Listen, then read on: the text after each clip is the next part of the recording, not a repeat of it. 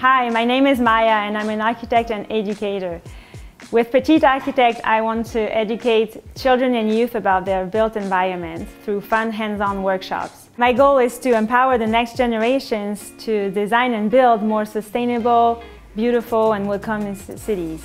About half of the world's CO2 consumption is due to buildings and we need to make sure that net zero is the new norm in the near future. So I think that it all starts with education and bringing maximum awareness so that people can change their habits and accelerate the shift towards a more sustainable planet. I'm truly honored to be part of Women for Climate and excited to develop my project with the help of a mentor so that we can bring um, my initiatives to more families.